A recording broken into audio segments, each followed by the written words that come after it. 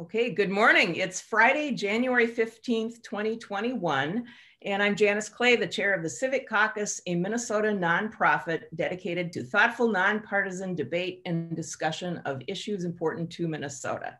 Today, we will be interviewing Clarence Shallbetter, who will lead us through a discussion of the important and significant work and a lot of work done by the Citizens League some decades ago on the topic of Minneapolis City Charter Reform, much still relevant today. I'm joined by fellow members of the Civic Caucus interview group.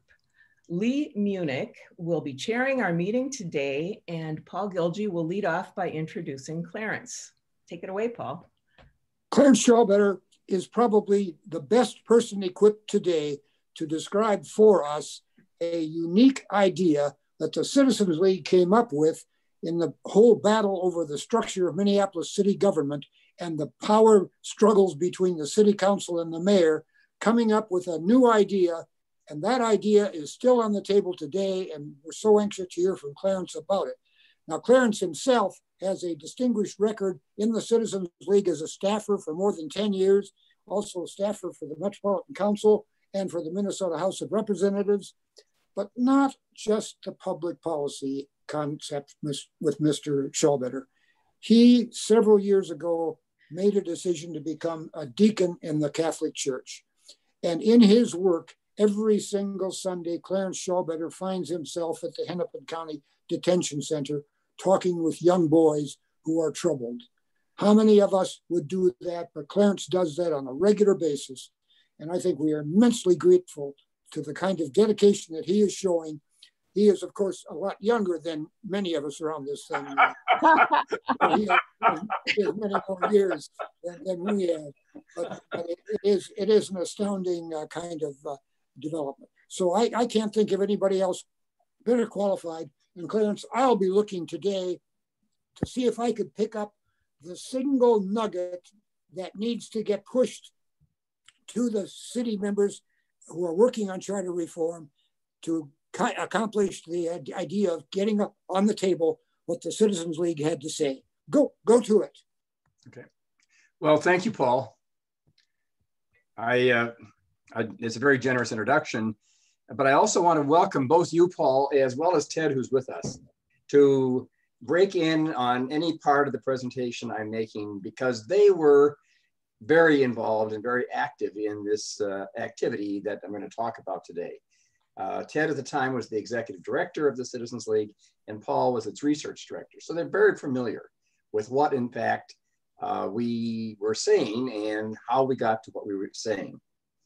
I want to suggest at the very outset here that we'd like to focus initially on the work that was done, how it was done, what it came to conclusions about, and then what its recommendations were, and finally uh, how they got implemented. Uh, the and I'd like to in, in, suggest I break this into about four parts, uh, but I'll do it by piece, and then I'll invite anyone to ask questions about the content or the, or the topic that I'm talking about at the time.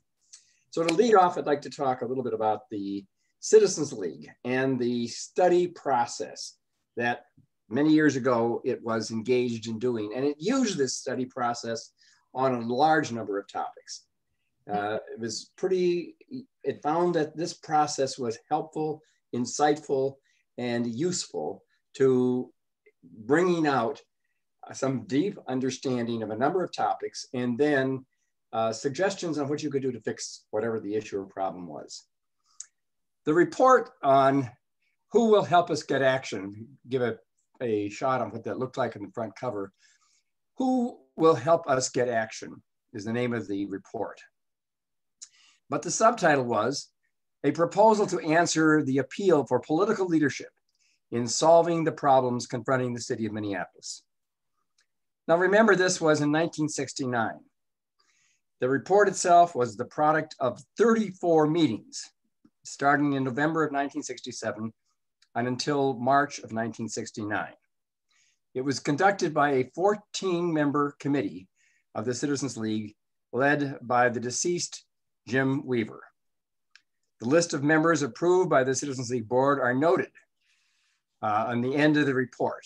And I'm beginning in this discussion really at the end of the report to give you some familiarity with what was going on.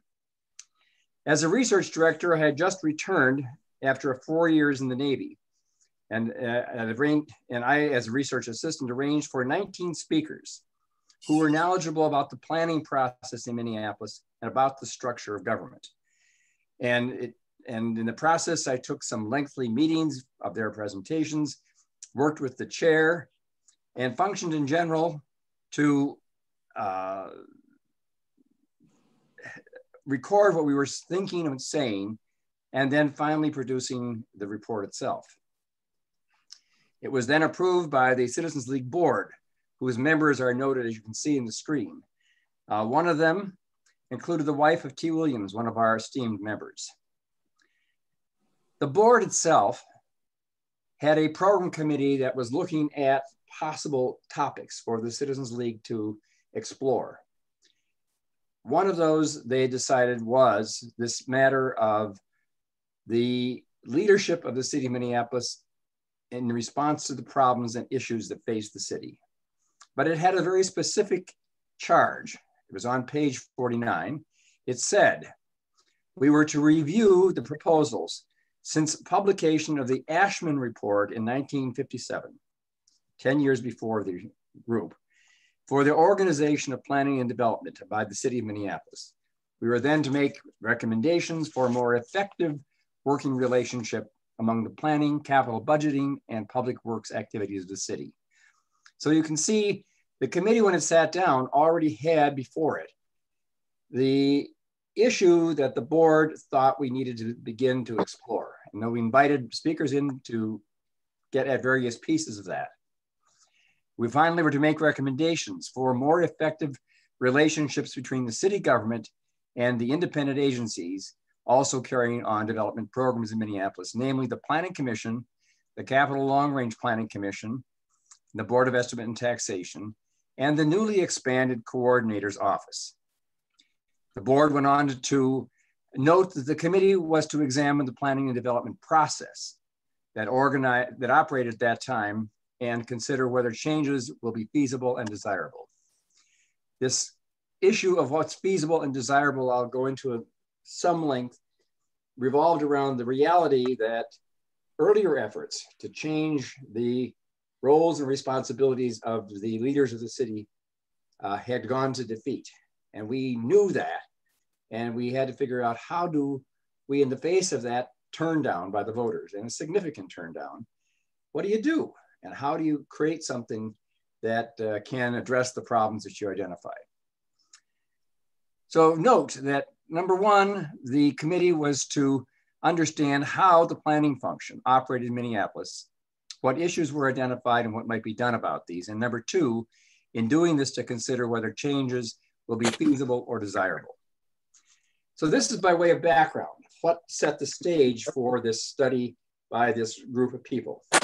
Are there any questions about this Citizens League process? Because I think it's, it's important to understand what that's all about. Any questions? Uh, oops. Go ahead. Um, in uh, in the past, uh, from the Citizens League committees I was on, and you didn't mention this, it was important that the committee members be generalists and not those with special interests. I don't know if you want to say anything about that. yeah, that was that was uh, true, and I think that the Citizens League from the very very beginning had assumed that that's what they were looking at. Mm. Uh, it became an issue later on, not, not, so much in this period, but later on it did become a real issue, and we had to go to much more selective kind of processes to make sure that the group who met were generalists. That is, they weren't the specialists, they weren't the professionals. It was a group of citizens who had broad interest in knowledge of government, but they wanted to know what they could do to sort through these issues and problems and come to recommendations without being overwhelmed by the group of people who felt they already knew what the answers were. So yes, you're right. This is a, an issue that the league had to deal with. Uh, I don't recall that in that time it was quite as acute as an issue as it became later on. Okay, Any other questions? Okay. Then I'll go a little bit into the uh, content of the report itself.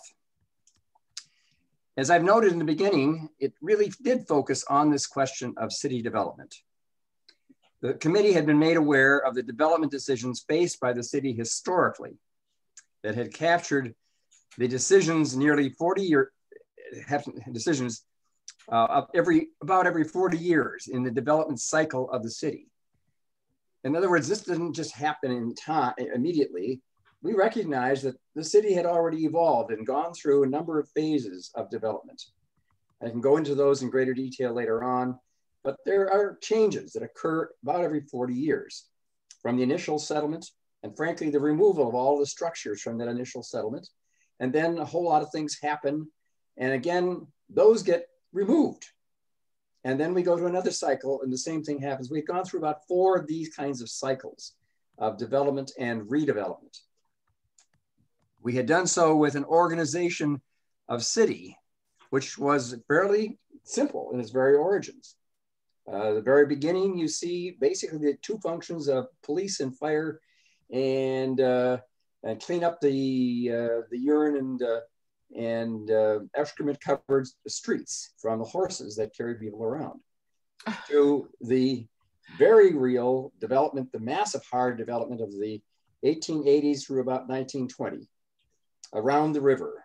Massive fires, uh, a lot of building to accommodate people, everything fairly close into that center of the city. And then it moves out and uh, we're left with what's there. And then the move out creates all new kinds of structures and new activities in the center. And finally, in the last phase, we were beginning to see the realities of suburbanization that was changing the image, the understanding of the central city. And it poses all kinds of challenges to the central city, changing its image and trying to respond to the reality that it's part of a much larger whole. As a matter of fact, by 1969, the city of Minneapolis and its population really only was 14% of the total population of the seven county region. Mm. So we knew that, and we came to realize that. And we had seen just fairly recently before that a very large urban renewal program that cleared everything in what we called the lower loop. Everything from about 4th Street all the way to the river got cleared out from First Avenue North down to Third Avenue South. And rebuilding began to occur in that now cleared out area. I'm not going to talk, we could talk about the how that was done and how the, the merits of it, but the point is that that's what we did because the consensus was this area was blighted, this area was full of dilapidated buildings.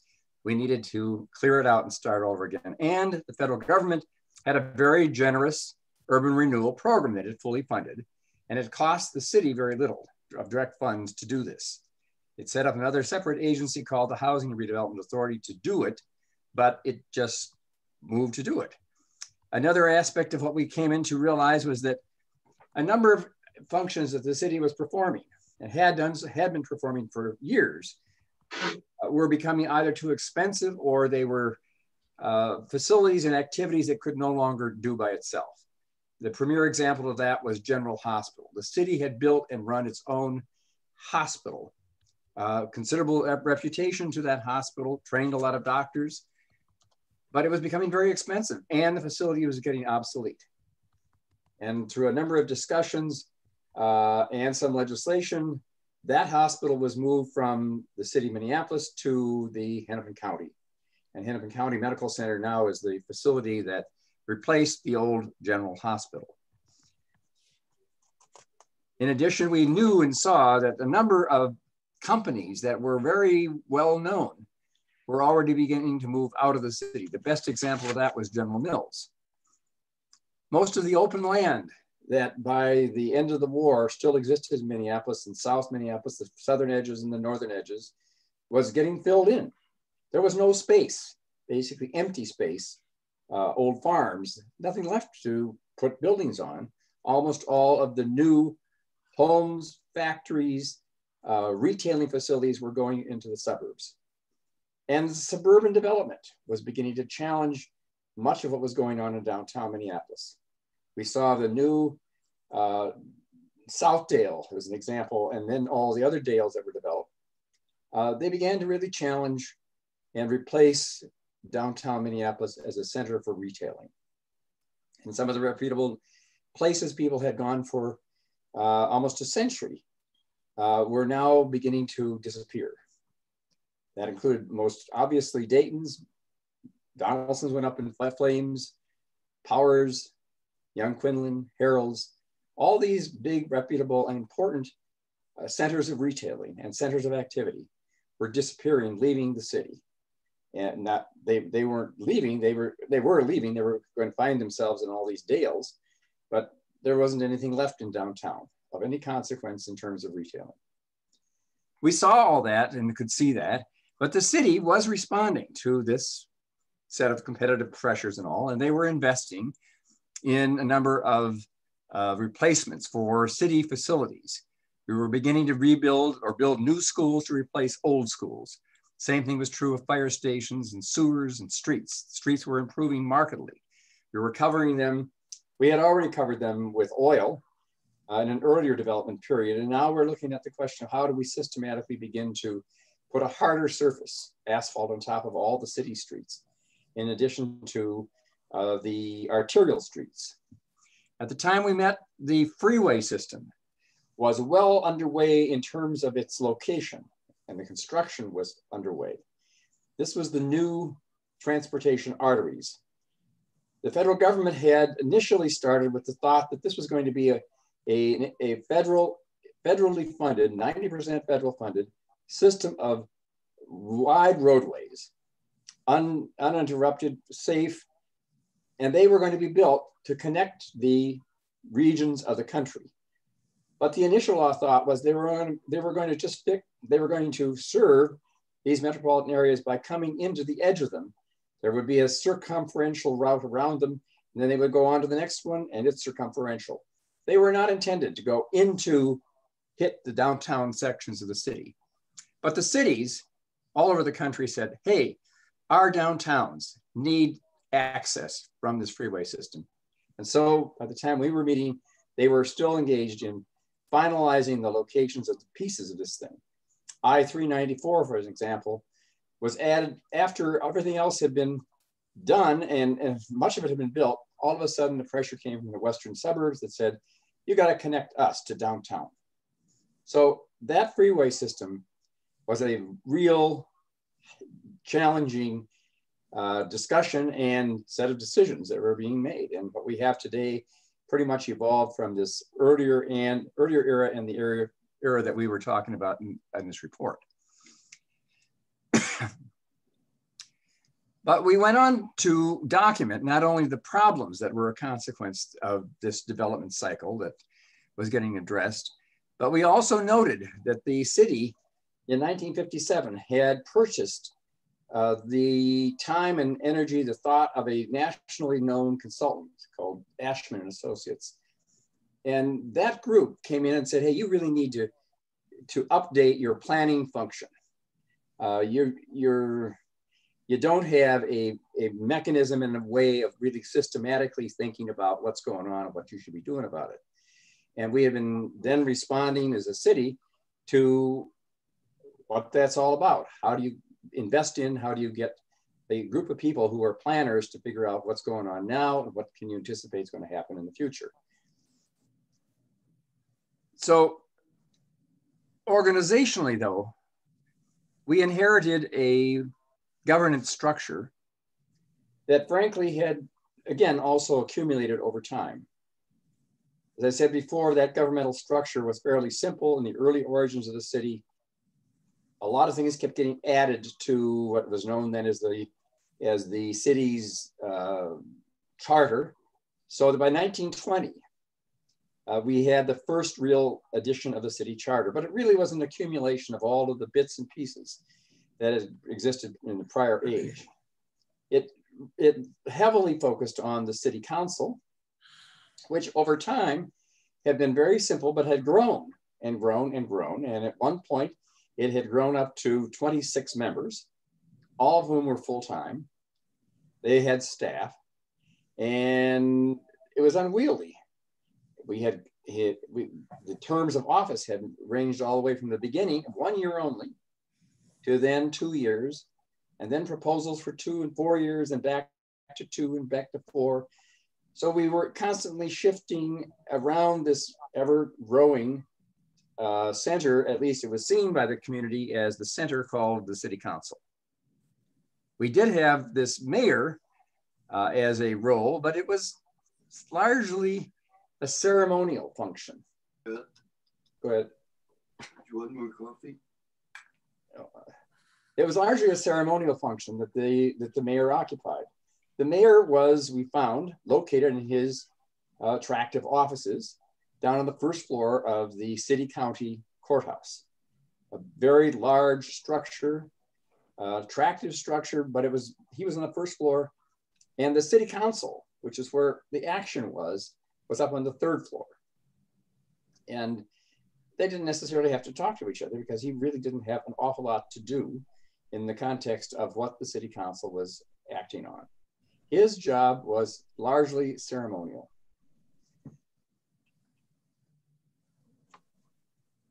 Who was the mayor then? At the time that this report was done, Yeah. um, I think uh, I want to say Stenvig. no. but- It could have been then. It was, I think it was Naftalin and Stenvig, it- it- Stenvig at that point. Right, right. Yeah, and so the mayor was, as I said, physically located on the first floor and the city council on the third floor. The report then discusses 11 issues that we identified that required leadership for their early resolution. You'll find those on pages two to six. And I'm not going to go into those in great deep depth, at this point, but they did include this location of the freeways. Um, and it included the fact that the transit system, which had been terribly important to the development of the city, which had been private in, in character and was fully financed from fares, had collapsed. It was deteriorating and it was financially no longer able to function. The private owner went out of business and systematically the city proceeded to tear up all the tracks that had served most of the residential areas of the city and paved over the areas that had tracks in them. And the transit function then, uh, in effect, became public. The legislature said we'll make this a public function and we'll move it to a separate freestanding organization called the Metro Transit Commission. Uh, the city had to respond to what are we going to do now that this thing we call transit is markedly different. It's going to be run, it's going to be buses and not uh, streetcars. Uh, it's not going to be owned by a uh, private organization, but instead by the public sector. And it's not going to be us, it's going to be a now new regional organization. That was another illustration of the kind of thing. The arterial system had to be built to grow to accommodate a growing number of cars because automobiles were obviously the primary and preferred route, of, preferred way of travel. After World War II, explosion in the numbers of automobiles. Uh, nearly every household had purchased an automobile. And in part, they needed it because the growing number of jobs were not found in the city, close to home. They were found in the suburbs. So what you see is a lot of traffic and movement in out of homes in Minneapolis to jobs in the suburbs. At the same time, obviously, there still continues to be people in these some of these suburbs, growing suburbs, that also find their jobs in downtown. So you have this much larger set of movements ac- accommodated by um, by uh, automobiles. Uh, the question of what happens to the uh, services that uh, accommodate people who live in all the homes in Minneapolis. These have largely been accommodated by local, very local uh, enterprises that were within a few blocks of where most people lived. There were lots of merchants on local streets, intersections of the old streetcar system produced uh, places where people did business, and those businesses largely served the surrounding areas. Much of that fabric had been threatened at that point, and the resulting streets of some consequence uh, were in stress. In South Minneapolis, Lake Street, Northeast, it was Central Avenue, and North Minneapolis is West Broadway. The, the, the income, the wealth of the people adjoining these areas made a significant difference to what happened to those areas as well. But we knew these things were happening and they needed the city to address them. Then the question was the revenue needs of the city and ways of financing them were increasingly a question. And we had decisions that needed to be made about uh, what, what issues that were arising needed to be resolved on a regional basis in, the, in a metropolitan basis, and what social service policies needed to be adjusted or changed. And finally, the imminent question of the day was, what are we gonna do about combining the collection of trash and garbage and how are we gonna get rid of this stuff? Uh, there was a serious question in Minneapolis whether it could continue to use city employees only to pick up and dispose of, of trash. And the city had to wrestle with how do you how do you sort that out and who should do what in that case. So the report then goes on. Any any questions at this point about these these and other kinds of issues that the city had been wrestling with, and they knew that they were there because it was obvious, uh, but they were reality. Anybody want to, John? You can. Uh, you, didn't mention the Nicollet Mall. I think that was something too in that period. No, that was that was that was in part a response to what was going on in the suburbs. We had these these investments in malls in the burbs, and what could the city do to revitalize, attract uh, people to the downtown as the as the retail section is is collapsing. In a in a well, I won't go into, but later after the report, we've got a whole series of these kinds of things that that continue to evolve, and the city again had to respond to them. I would suggest that one of the ways the city responded was to realize it couldn't recapture uh, the old image that it had uh, as the center for all kinds of activities, but it made a determined effort to become the center for statewide, but certainly regional entertainment. Uh, and enormous investments were made by the city then in all kinds of arenas for baseball, football, basketball, uh, for uh, for the um, uh, the theater, for the orchestra, and the orchestra. The orchestra had been downtown, at the Lyceum Theater, but that was an obsolete facility, and the investment was made with the support of a lot of uh, fairly wealthy people and the city to get a new orchestra hall built. So we became the center for some cultural, but especially athletic activities for the entire region and the state. But that's a, a, that's a development that occurs really after this report. And and tax increment financing, I think that was in place or just starting at the time you did this. I even just I don't know about no, when it started. started. Tax exempt financing started in 1973. Yeah, that's I thought that was later than that. So then the question is, so we saw all of these issues and we said, well, what is it that that we have to do in response to the fact that there seemed to be a lot of confusion, maybe not very strong response to a number of these questions. So the major conclusion of the report was that a politically identifiable leadership was required for many policies and decisions. Under the arrangement of the roles and responsibilities in what is known as that city charter, these responsibilities and authority were not connected.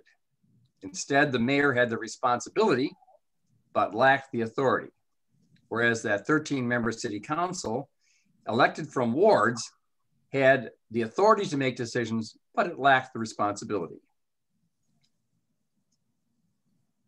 It's the leader, its leader, the city council's leader, known as the president of the city council, often appeared to be the key decision maker and even the spokesperson for the city, even though that person was not elected from the entire city, but represented a particular ward. He or she was elected by the majority of the uh, 13 member city council. And as I indicated earlier, there was even a physical separation between the mayor and the city council. The report then discusses 11 issues that require leadership for their early resolution. And I've talked a bit about all of those. So the report goes on then to ask, where is the leadership role in the Minneapolis city government? It goes on for three pages to discuss the elements in this fragmented leadership function and the conflicts that often occurred between these elements that often revolved around planning, budgeting, and who acted as the spokesperson for the city. Our central conclusions are outlined on pages nine and 10. The report goes on in depth, some would say deeply into the weeds these days, uh, in trying to figure out what's going on with this planning function, which had grown, as I said, fairly significantly in response to this set of proposals from Frederick Aschman in 1956. And we saw what they were trying to do, and we looked at the capital uh, project uh, evolution, how the projects rose and how they got rated and uh, by a group called the Capital Long Range Planning Commission, and how the city council picked them up. It just did them. They were often quite separate from other aspects of the planning uh, system. Some of the issues we said really the, the city was not paying attention to and hadn't done and hadn't done much to connect what the planners were coming up with with, with actual policies. An example of that was parking ramps surrounding downtown. Planners had said you need to get some parking ramps because the major way that a lot of people in this region are going to get downtown is by automobile and you've got to accommodate them. Where do you build them? You build them in the center, right next to the uh, offices and the retail centers, or do you build them on the periphery of the downtown? Others exam other examples um, uh, were the disconnect between planning and development as illustrated, as I said, in that capital budget, and contrasted, the contrast was obvious between that function, that activity on the part of the city and its planning and redevelopment authority, which systematically just went at the process of acquiring, removing, and leveling and selling land in this large part of downtown Minneapolis. The council, which saw itself in control, moved, did respond by moving the planning function under a new office that had been created just a few years before called the city coordinator. And that city coordinator was becoming the chief administrator of the city. All of the city department heads were appointed by the city council uh, and the city council individual members could simply pick up the phone and call whomever in the planning in, in any one of these departments about anything that a constituent called about, whether it was a pothole, uh, a, a threat to themselves, or a problem in, in any part of the city. They would just, they, they just got lots of questions or calls from their constituents. It was a way in which they could connect to those constituents and be important in their lives. And that was the primary way in which a lot of, of departmental activity was ordered by the individual responses on the part of these individual council members. the report finally then went into recommendations. If this is the situation you've got, what should we do? And we, we recommended that the president of the city council, the offices of the president of the city council and the mayor be merged. Bring the two of them together. These two leadership, obviously somewhat public leadership functions should now be united in one office. And then we did, then we began to weigh the merits and the values of various kinds of organizations. We knew about all of these because the Citizens League had been responsible almost at the very beginning of its existence in looking at the question of the city charter. How should we structure government? And the Citizens League before that had come to the conclusion, as had the mayor of Minneapolis in 1948, Hubert Humphrey, we need to have a strong mayor who has all the responsibilities for administration and for all of the activities. Then that mayor would make recommendations to the city council. The city council would adopt them uh, or not and or modify them. And the mayor could veto any actions of this part of the city council. That kind of a proposal had gone down to defeat in 1948 when uh, Mayor Humphrey had proposed. The Citizens League, through its study process, had come up with a similar strong mayor uh, approach in 1962 had gotten the city to put it on the ballot, and it went down again by 60%. So that was the history. We knew that they had been defeated and significantly so. And the question is, how are you going to do anything to fix this leadership question uh, if, in fact, the preferred way wasn't succeeding? I should note also that many years before, in 1926, there were efforts underway to create a city manager system, but these were defeated by an even wider margin of 70%. The league also rejected uh, reject the league in this in this study rejected the strong mayor option, even if it would provide dynamic citywide leadership. Hmm. Because it was fearful that if it came back to that and did too much to strengthen the mayor, it would be seen as trying to dominate the deliberative process and the decision-making process on the part of the city council. Oh. And the city, huh? Because because it would it would seem to supersede uh, what in fact they were trying to do. They had been in charge of everything. And anytime you entered into this kind of thing, there was this this rivalry that became apparent. And we said, can't we do something to begin to minimize this rivalry so that the uh, city council can't in effect continue to do what they were doing. They were even doing a lot of things that really bypassed the mayor.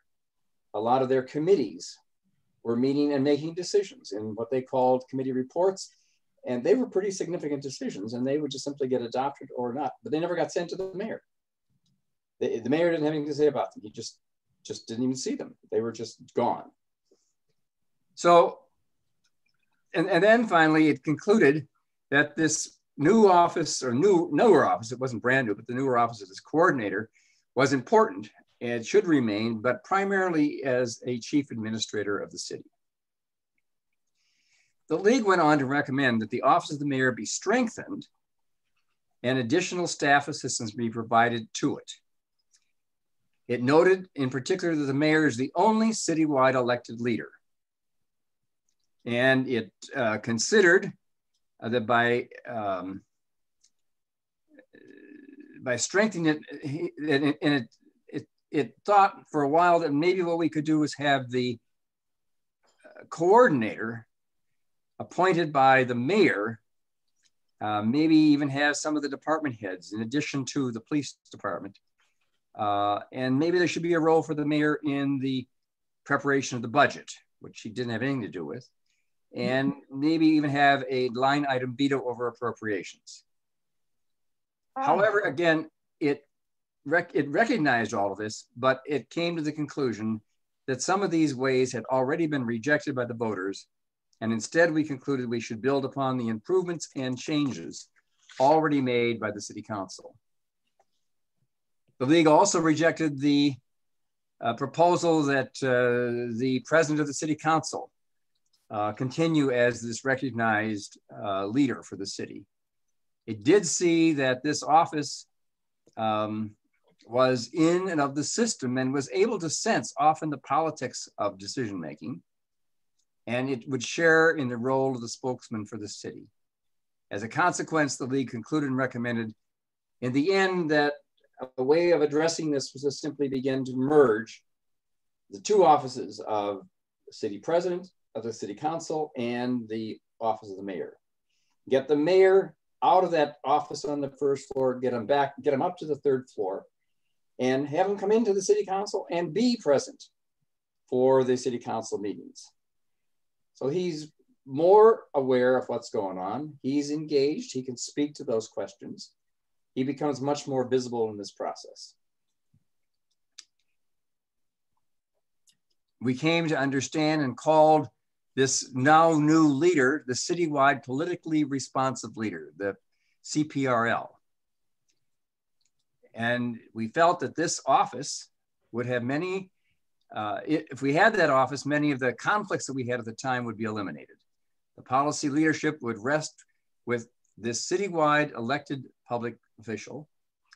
And we noted that in the end, this new fabrication of leadership in this role was, some, was very much like what had already occurred in Hartford, Connecticut. Other responsibilities that would strengthen, the leadership function included having the mayor identify problems, provide direction, and present the budget recommendations that he received from the city coordinator together with his comments to the city council. So he's to have an active function in the budget.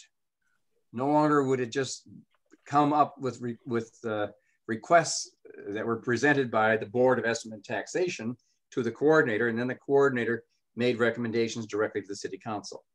Instead, we said, no, that process of collecting, uh, looking at these things, making recommendations by the coordinator was fine, but we want the mayor to be able to speak to those budget priorities and those budget proposals. And then it goes to the city council. The uh, same thing was true of the capital budget. Uh, the league also recommended that this citywide leader be the official policy spokesperson for the city in the legislature. There would no longer be a city council only making recommendations to the legislature. The mayor is the person who would speak for the city, and the mayor is the one who would present these to the legislature. And then the mayor would also continue to have, have these ceremonial functions of welcoming people to the city and giving attentions to completed, completed projects. Finally, the report recommended all actions of the city council, especially these committee reports and actions uh, that often stated city positions on various matters, such as, uh, for example, some of the questions about priority and timing of freeway development, or the ordering, uh, uh the ordering of plans for detailed drawings of the city auditorium and its schedule for financing, all of which had been done by committee reports of the city council and never sent to the mayor. All that would have to end and they would now be going routinely to the mayor for his approval or rejection. While the mayor might in this process become a voting member of the city council, this was done in many suburbs, uh, we felt that this was this was not going to be helpful in this process because it would probably also then require the addition of another city council member and another ward or the re uh, formulating of this process. Uh, that cumbersome system of many council members working full time in all of these wards didn't need to be complicated by adding another one simply for the benefit of having the city uh, mayor trying to be, uh, in effect, the operating president of the city council. So the league then went on to recommend uh, some other changes in the planning function, the terms of the citizen members of the planning commission should be made coterminous with those of the office of, of the mayor. So those were the essence of the proposed recommendations. Uh, merge that office of the city, uh, of the city council president and the mayor into one increase and significantly strengthen the role of the city mayor in the budgeting function and in the planning function. Uh, continue the mayor's role and ability to veto any actions of the city council, get all of the actions of the city council up to the mayor for his approval or disapproval, and have the mayor as the spokesperson for the city. So any questions about the proposals at this point? I'll talk about the implementation then. Questions? As you were going along in that uh, study process, was the business community being involved uh, so that their eventual support would be significant or not? I think I think it's fair to say that was one of the one of the unique qualities of the Citizens League for many years, not just at that time, but for many, many years. There were many leaders of the business community who, if not themselves directly involved on the Citizens League, had people who worked for them in public affairs, for example, working on these committees. Many of them were represented on the board. Many efforts were made to go out and communicate with the leaders of the business community. So I think you have to say that the business community is aware of the fact that this group of citizens are really looking in depth at a set of issues that the city is struggling with. They knew they were struggling with these questions. Now the question is, how are you going to deal with them? And so they were made aware of it. And I think the Citizens League was getting directly and indirectly uh, indications of interest in, clearly interest in, and support from the business community. Hmm. I mean, Ted can speak to this maybe much John Cairns, are you talking? You need to unmute. Who, me? No. Uh, well, I guess Paul Gilje had his hand up. Paul, Paul would be able to speak. I want to talk. I have a question. I'd be curious.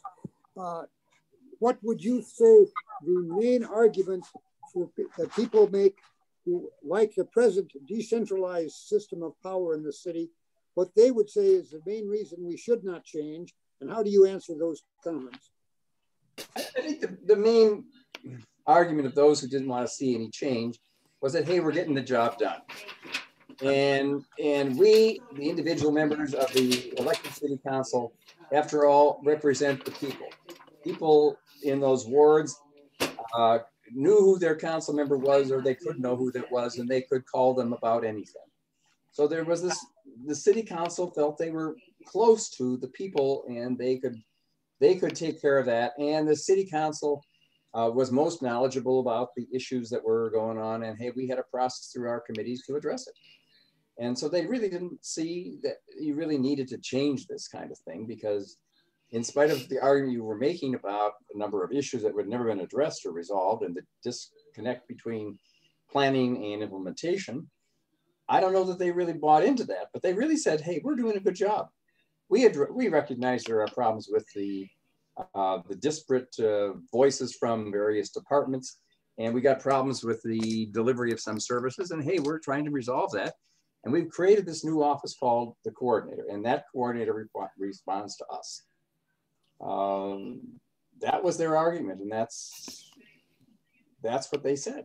Can I ask one more question? John Karen was next. John? Hey, Clarence, when you did this, the, the interviews for the committee, yeah, did you bring anybody in from the union movement in Minneapolis? You know, I don't see that in the report. I mean, I, I think we were aware of it, particularly the CIO, um, but not specifically. Well, the Central Labor Union in Minneapolis was the dominant. Right. But really, the police and fire have emerged since as the dominant when I talked with people about this, Dick Curtin and I talked with a number of people, it became very clear that the unions would, would never approve the charter change. And that's true today. And that is because they would much prefer, when they negotiate their contracts, to be able to go one on one with council members who would be thinking only about the employee contracts instead of going being in the, negotiations with the mayor, who had many other interests to sort out and would compromise. And that remains true today. And I don't know if anybody's even begun thinking about how to engage the union leadership in Minneapolis, but the public employees unions have been very opposed to this for years. Well, Pat, did you have a follow-up question? Where was when did Wayne Thompson come into Minneapolis? What what would was, was Wayne he... Thompson was the public affairs director of the Dayton Hudson Corporation. And he had really become, as I recall, uh, fairly uh, active publicly with a number of ideas uh, prior to the creation of this uh, committee. We were aware of his interests, um, and you could see them uh, displayed in the campus papers. Uh, he had proposals for uh, building a, um, a, a, subway system, which the first city coordinator, uh, who was from the public works department, thought was a great idea. we were aware of that. Uh, it hadn't caught fire and people hadn't done it, but hey, we knew what that was going on. But he was a figure of some consequence uh, among the business community in Minneapolis. Yeah. Said, I think Ted or Paul can speak to some of this other, who, who was around this organization called the Citizens League that we uh, we knew, we consulted with, we talked with uh, what the nature of those conversations were. Um, the committee as such uh, brought in, as I said, speakers. You can see who it was that we brought in. And the very back, we listed all the people who we brought in to address the committee. Uh, most of them were involved in this planning function because that was what the, the board had said we were supposed to function. We were supposed to address the question. But we had said, okay, it's not just a planning set of questions, it's also this question of implementation, the connection between planning and implementation that got us directly into the question of how is the city organized to make decisions? And mm -hmm. that's that's what drove us to talk about structure really as the answer to uh, the problem of the disconnects that existed. I have Dana and then Paul next, Paul Ostrow. Hi, um, I am wondering uh, about a little more information about the city coordinator. Um, at the time of the Citizens League study, am I understanding that the coordinator was approved was uh, hired more or less uh, by the city council, appointed by the city council? Right, right. Okay. And that's still the case today? There is no coordinator today. There's no coordinator? There, no, there is a city coordinator. No, there is a city coordinator today. And that, that city coordinator is appointed by the city council. Okay. But reports today, I think, is the way I hear it today, that coordinator reports to both the city council and the mayor. But I think that goes through the executive committee with the mayor making the first recommendation. Right. That's the first, that's another later development that didn't happen at this period. But the city coordinator, actually the city, the position of city coordinator, the city council thought was important. And they went to the legislature and the legislature adopted legislation that changed the city charter organization to create the position called city coordinator. So it was there and, and it was important. I mean, it was beginning to try to pull together some of this stuff. Well, um, I know I uh, spent a summer in 1972 as a, uh, an intern at the Minneapolis Planning Department, and Tommy Thompson, who was the city coordinator at the time, right. was very, at least in my observation, very powerful and uh, put out a report during that summer about the subway under downtown and you know much uh, hoopla about that. Today i couldn't tell you who the city coordinator is. Is there has there been a lessening of power by that person or am i just out of touch? I don't know my sense is that the office of the city coordinator is is functioned more more like a city administrator. I hesitate to say that because it doesn't have uh, control, for example, over the department heads. The department heads are still appointed, but in the case of the mayor, the police, is, police chief is appointed by the mayor. All the other department heads are appointed by the city council.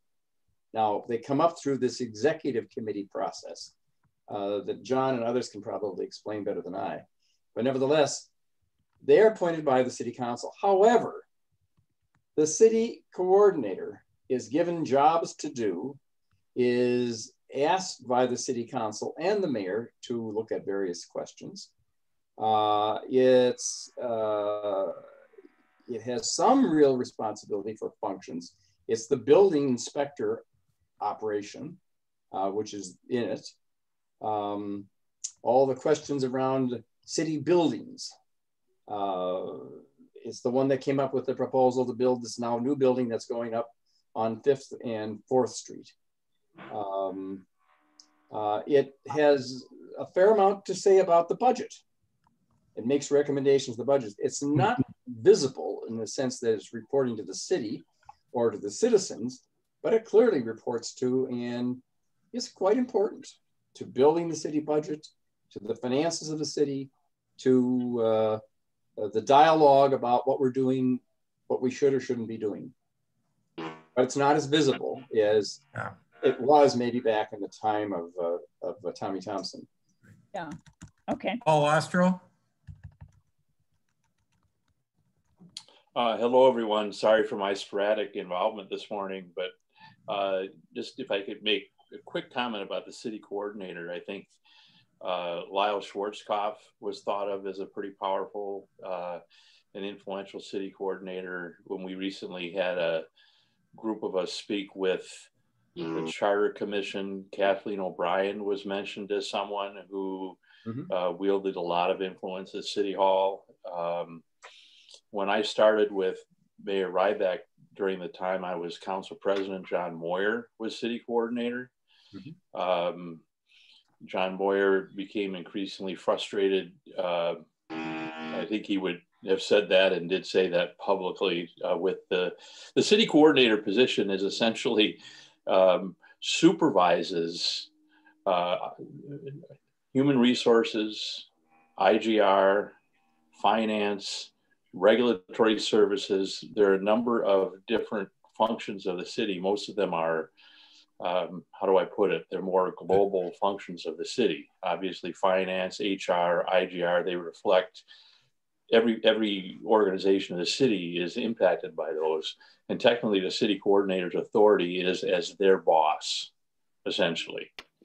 Um, but what did happen over time was that certain city coordinators were able to develop enough loyalty among council members and staff that they ended up convening department heads and kind of serving as maybe a de facto city administrator, but they never really had that authority. Right. And when they tried to assert that discipline, I would argue John Moir, chief among them, there was all sorts of pushback.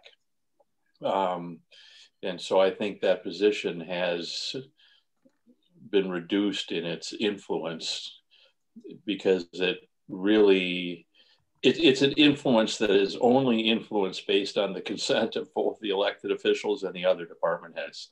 It's it's it's not anything that is is it, it, there's no inherent authority of that city coordinator, for example, over the the head of MCD, you know, the, the formerly MCDA or the now currently the planning department or, or transportation. But there's no, so um, that rudder, in my opinion, has really been been lost, and I'm not sure we can assume in the future that the mere force of personality or gentlewomen and gentlemen's agreement to accept that leadership is really gonna gonna work. Uh, my question, and I apologize if it's already been addressed, uh, is kind of where this landed and what happened when the report was done. I'll talk to that in just a second. Okay, that that's it. Yeah, just uh, you know, what did the council engage in it? Did the charter commission engage in it? Did the legislature come in? I'll talk about that in a second. Great, but that's it. And I, yeah, I'll listen as much as I can, um, okay. and I really appreciate the report, Clarence. Thank you. Hey, Clarence. Yeah. Oh, excuse me. All right. yeah. Um, I think we're out of questions. We're out of questions. All right. So the final uh, review I'd make is this issue of implementation. So what happens? The league adopts the report. The committee adopts it, sends it to the board of the Citizens League. They discussed it, and they said, yes, we'll adopt it as an official uh, policy or official uh, position of the Citizens League. The Citizens League, in its history, uh, not only adopted the reports sometimes rejected, but most often adopted the reports of its committees. But it also had a process for implementing it. What are we going to do now that we've, we've said this is ours? What are we going to do to make sure it gets done? How are we going to implement it? And it never hesitated, as an example, to go to the legislature if that's the group to which it was directed. However, this report, you'll note on page 37, was not directed to the city planner, to the city charter commission.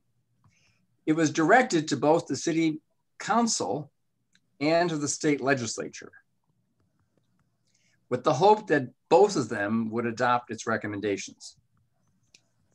It observed on pages 35 and 36 that, hey, the city had gone to the legislature for many changes affecting the city charter, example, including this office of the coordinator, as well as many other numerous issues in 1963, 1965, and 1967 sessions. They even had a committee in the legislature dealing with city requests. So it was routinely done this way. The, the, the city understood that local government really is the creature of the state. The state is the one that sets up the, the format, the arrangement, arrangement of powers at the local level. But the city doesn't hesitate to say, hey, we can change things, even though we now have since 1920 a quote home rule charter.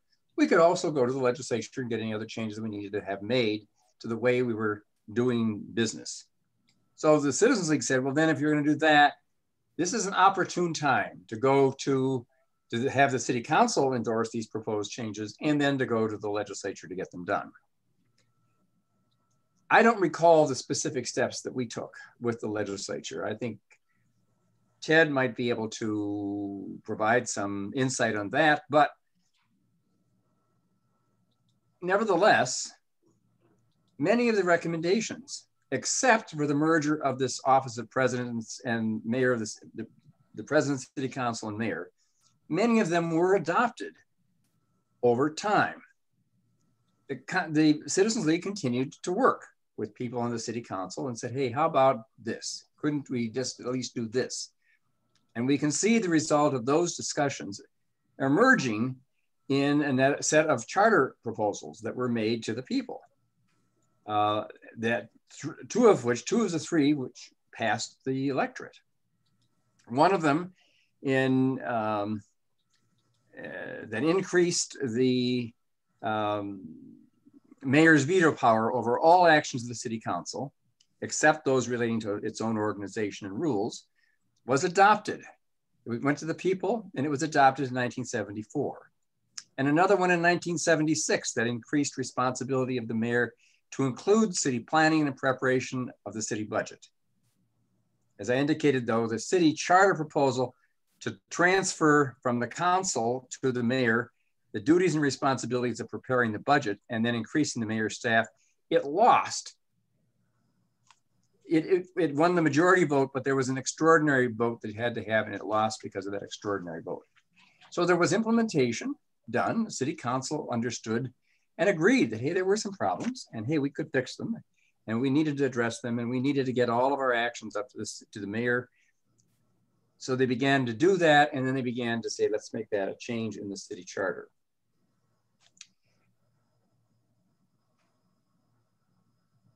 The next big evolution that occurred, as John Cairns uh, noted, was this creation of the executive committee.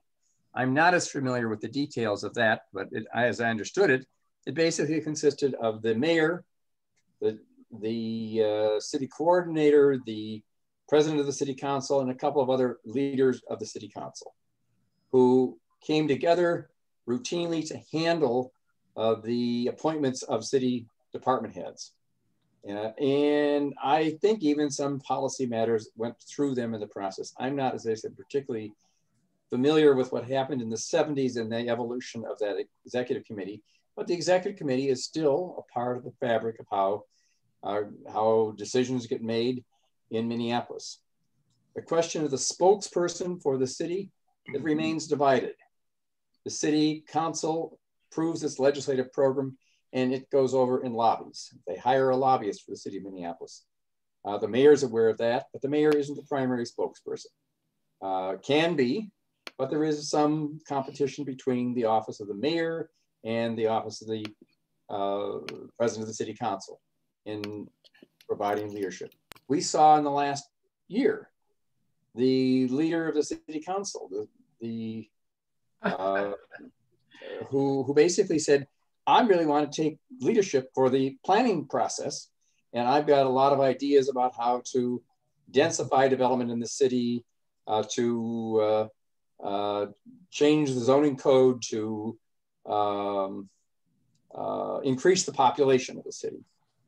Um, so there's a real contest that goes on still between these two leadership roles, the president of the city council and the mayor. Mm-hmm. So that's as much as I know about the implementation of this. We never merged the two, but we did do some things to uh, to recognize the other ideas in the proposals, and they were adopted. The mayor, the coordinator is not on the executive committee. It's only the mayor, the president of the city council, and three other council members. Right. Right. And they're selected by the council, not by the mayor. Right. One other point, uh, just a off the wall point, but Lyle Schwarzkopf was actually the city clerk. He was hired when I was on, was president of the Right. council. And Right. he, he was, we hired him because we wanted him to be the chief lobbyist for the city. And he did a phenomenal job. He was very competent, did a great job. And he was an outstanding uh, senior officer in the city. And I think the executive committee uh, was passed in the 1980s Mhm. when Fraser was mayor. Now that's got, I've, I've looked at some of the, inf- the information that the Charter Commission is working on now. It's, it's terribly active. I'm absolutely amazed. I don't know that I've ever remembered the City Charter Commission uh, engaging in as many meetings as it is right now. Uh, it, it has put together, I would say, you know, there were like 15 different uh, reports that it's looked at relative to this question of the of the roles, responsibilities of leaders of the city. And uh, it's identified certain issues that it wants to, uh, certain suggestions for things to change. And uh, this committee of the Charter Commission apparently is going to report, I've heard, maybe sometime in March or April. Uh, and there seems to be some um, who think that this, out of this activity, uh, we're going to see uh, significant change in the charter, particularly as it involves uh, department heads. I think that seems to be one of the issues right now. Who's appointing these department heads? Uh, some people, um, I talked to one of the council members, and she felt that uh, part of the problem we've got today is the demands that are placed on department heads uh, by these 13 members of the city council individually. And um, and the Charter Commission is trying to address that, and they seem to be primarily looking at at uh, putting the mayor in charge of of the departments, making the mayor the chief executive of the city. Uh, Paul Can I- Gilje has his hand up. And then John Adams. Paul, Oh, Paul, he's You're trying, on, you're on mute. he's trying to find it. Oh, I'm sorry. Go ahead, what, while we're waiting for Paul? Yeah, I'm on. Can you hear me now? yeah, Clarence, let's let's say that the key issue here, before we talk about whether it really ought to be implemented, the 69 report, what's the step that has to be taken to get it on the table in front of the Charter Commission? What has to happen for that to occur? I'm assuming you have to be invited or you have to ask the uh, study committee of the Charter Commission, hey, can we make a presentation on this idea of how to address uh, the thing? One of the one of the questions I've had looking at the material of the Charter Commission, I'm having it, it's it's I think it's there, but it isn't obvious what the quote problems are that they're trying to resolve. Uh, this problem definition, I think, is fairly critical uh, because then you can focus the discussion if you have some agreement on what the issues are. Uh, you need to document. But I mean, they they have interviewed all of the all the department heads and the past coordinators. Uh, so they've got some documentation of hey, issues that seen through the eyes of those people. Um, but I'm not quite sure what the Charter Commission, its study committee, has concluded is the problem that needs to be addressed right now in the way we structure that government. But in any case, somebody's got to go to the Charter Commission and say, here's a, an idea about how that question could be addressed. So I think we should submit this recording to the Charter Commission. I know they're doing a lot of reading and gathering of information. Uh, this has been a great summary of, of that whole uh, earlier period and um, as well as some of the ideas of the members. So I, I would suggest, Janis, that maybe this be submitted to the Charter Commission as, as an additional document, so to speak. John Adams? yeah, thank you. Uh, Clarence, you did mention uh, what is the problem that reorganizing city government? Uh, can you hear me? Am I on? Yeah, you're on. That's on. Yeah. Um, what, what exactly are the set of problems that reorganizing city government would help resolve? If you're going to bring this to the voters at some point, the voters are going to have to be tuned in on yes, if we vote for this, things are going to be taken care of in a better way than they're being taken care of now. Right. And it has it occurs to me that over the years, the politically active people in the city uh, are actually much more interested in very local things, which they take to their city council members to deal with, than they are interested in larger questions about the role of the city itself in an expanding metropolitan area in an increasingly complex state of affairs for the state. You know, in addition to the fact that there's almost no press coverage, widespread press coverage of these issues that would tune in local voters on the issue itself, what are the problems that remodeling city government would help us resolve other than these theoretical issues that some people are taken with, but don't have much resonance with the average voter? Uh, is there any widespread unhappiness in the city on the part of active voters about what's wrong that changing city government would help fix? Yes. Yes. Go what? Ahead. Go ahead, Pat. yeah, what are the top three?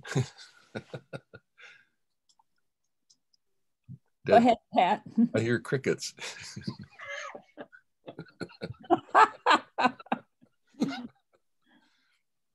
I mean, the reality is that that part of what the city charter commission is dealing with is that it was requested by a supermajority of the city council to uh, change the uh, decision that had been made. I forget, I don't have, I have the date here, but change the decision that was made in the city charter to have a specific number of police per thousand population. And the city council said, get rid of that provision. And the city charter commission said, hey, we're not going to do that. We are okay. currently now going to undertake a larger discussion. So okay, part okay. question. On the police, the police thing is a pretty good example. But if you made that number one, what's number two? Good question. So I, I would say, I would say number two is the way in which the city's financed.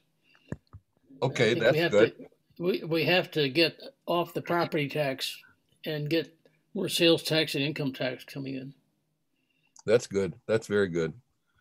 Yeah. I, I think Thank you, Mr. A, Professor.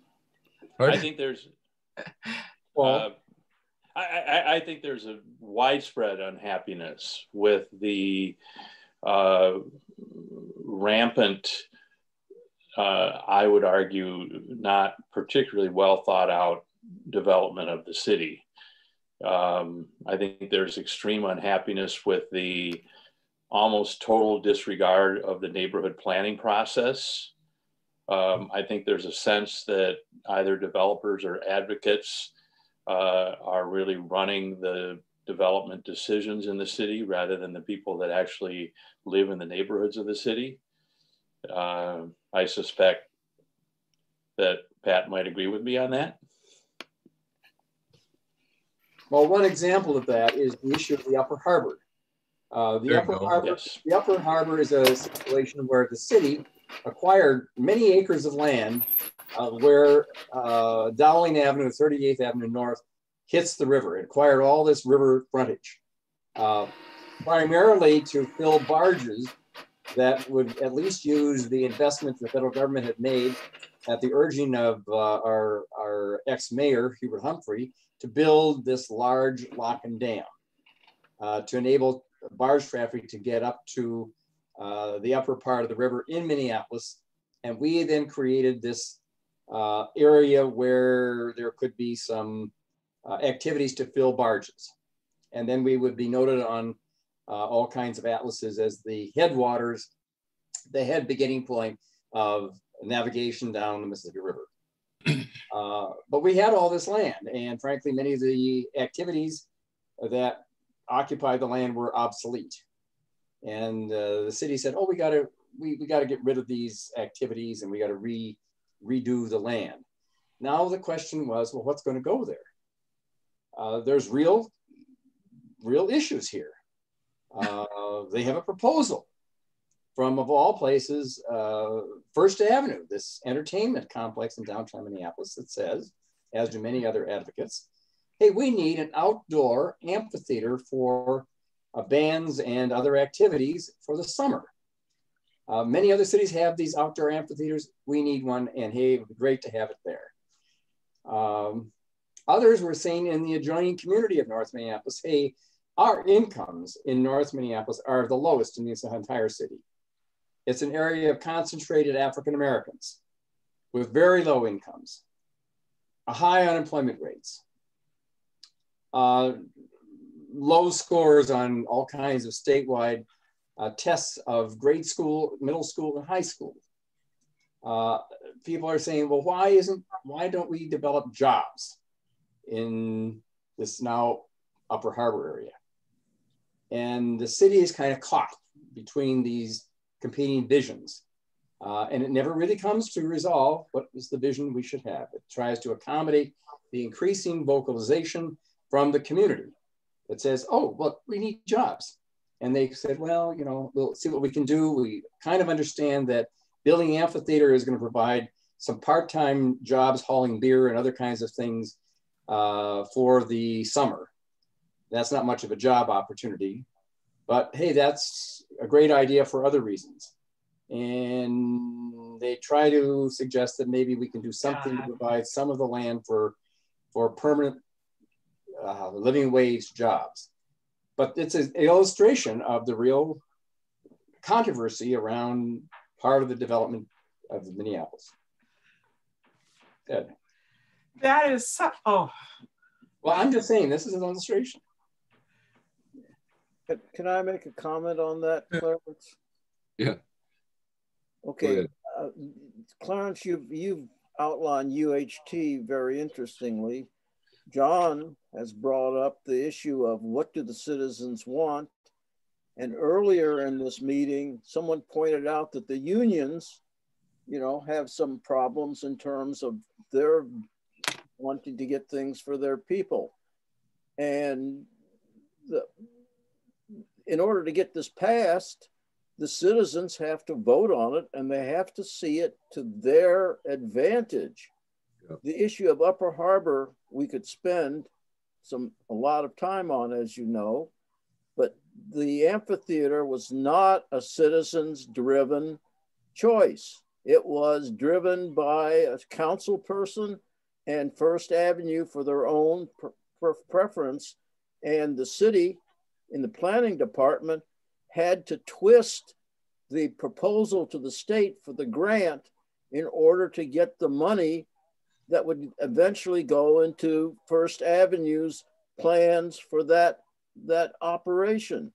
So the citizens have not had a voice in this and they don't see that. So why, you know, it continues to be at a failure of anything that's put before the citizens to be turned down because they don't see it to their advantage. I think you and I have talked about it. You and I and Paul have talked about it, and other people, and John has just talked about it again. So, regardless of the efforts to create the dissension and problems that that the, the city it has in itself, it needs to look at how it's going to address those issues that the citizens want. Uh, John mentioned the, the citizens again, the 2040 plan, the disenfranchising of the neighborhoods in terms of the, the uh, NRP program. Constantly, the citizens are being disenfranchised on almost every decision that's being made while the city government wrangles amongst itself as to the structure that it should have in order not to have to deal with the city citizens. So where do you take that? Lee, Lee, can I make a comment? Yes, Ted, go ahead. Put me, put me in line, whatever. Yeah, go, go ahead. Uh, you're next. I think you're next. Well, I could, I could be uh, very mistaken, but hello there. Uh, I could be very mistaken, but uh, I would guess that the discussions going on uh, in the Charter Commission uh, are entirely about uh, uh, solving the problems of the management and oversight of the police.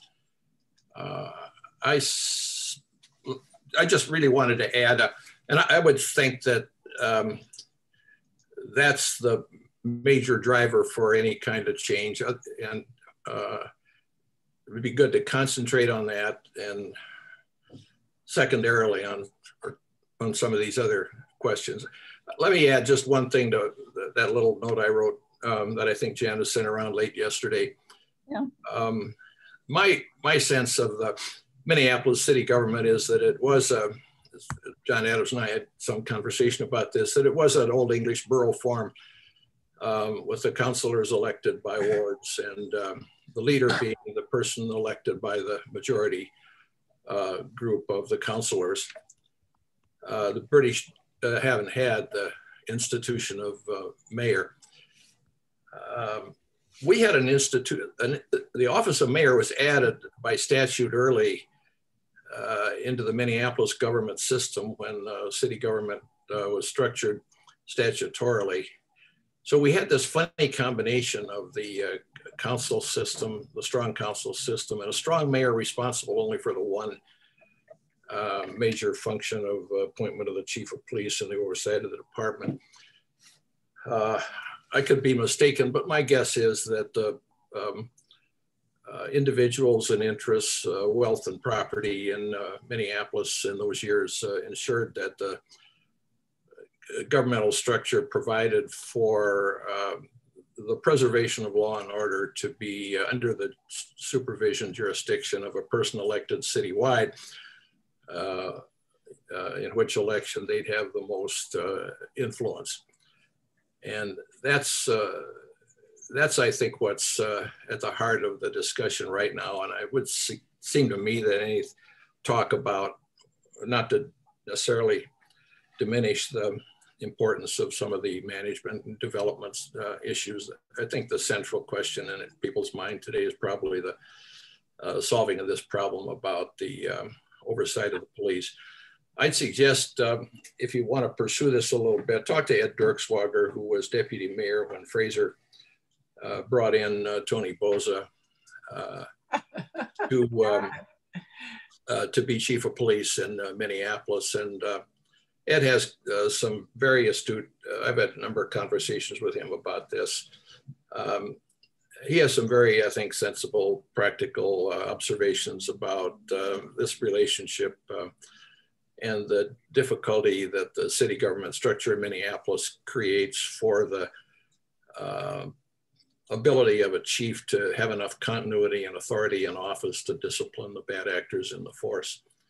Uh, Ed has some comments also about the, um, I won't try to quote him, but you should ask him about his uh, sense of the various kinds of um, uh, amendments uh, the, to the uh, city charter and uh, over the appointment of officials and so forth, the executive committee made, uh, uh, you know, starting I think in Hofstede's time and continuing in a principal way in uh, Fraser's time. That's all I was going to say. But I, and I'd be interested in any comments you have on that. Maybe Pat there has. Pat, were you trying to say something? yes. Am I muted?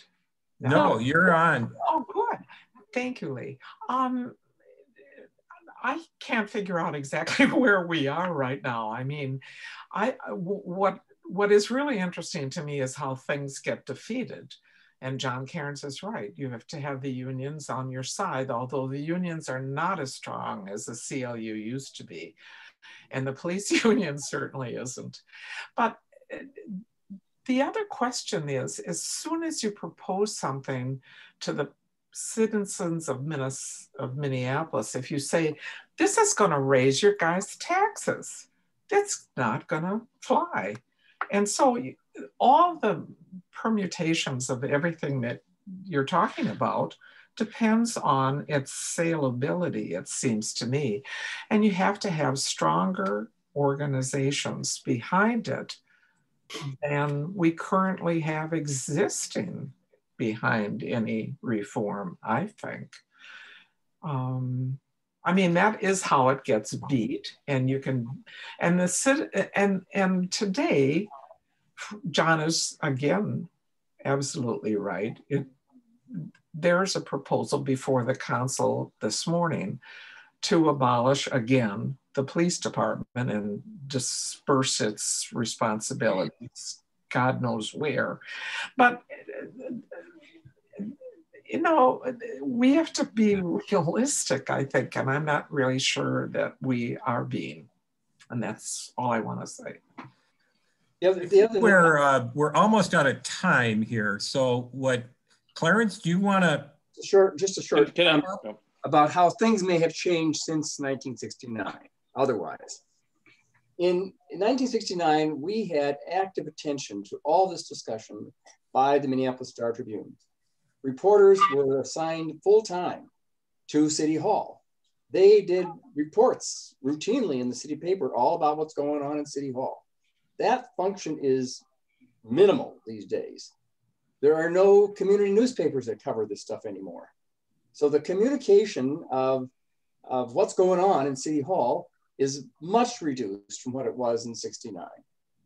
Um, the second thing that I think has changed, and I'm not saying this in a negative way, but I think it, the involvement on the part of leading people in the legal firms of the city, in the businesses of the city uh, has changed.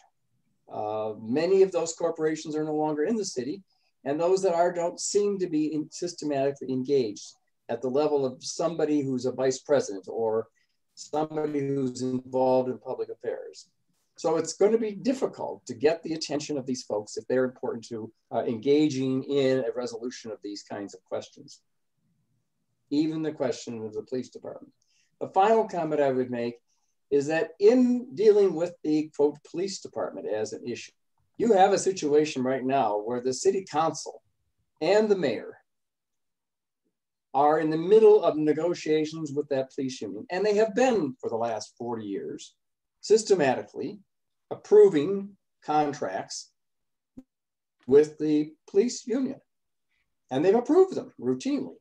And if it's in those contracts that part of the problem is, the question is how is the city council and the mayor going to begin to address what it is they're asking for in the changes to that set of agreements. We're not seeing that. We don't know anything about it. And I don't know if any change is going to come in the context of that set of negotiations. Right. Thank you very much, Clarence. Um, yeah. Are there any, uh, Janis, are there any final things we need to discuss before we uh, conclude this session? Uh, you need to unmute yourself, however. Okay, um, can you hear me? Yeah. yeah. Okay. yeah, actually what I had my hand raised for much of what Clarence just said.